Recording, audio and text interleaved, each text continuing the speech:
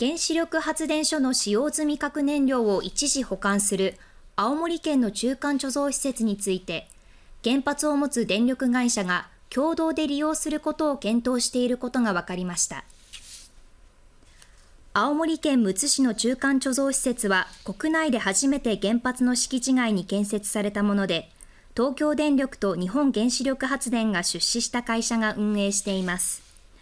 関係者によりますとこの施設をめぐって大手電力会社の業界団体である電気事業連合会が2社以外の原発の使用済み燃料も含めて共同利用することを検討していることが分かりました国内で初めて40年を超える運転を目指す関西電力の高浜原発1、2号機の再稼働につなげる狙いもあるとみられます。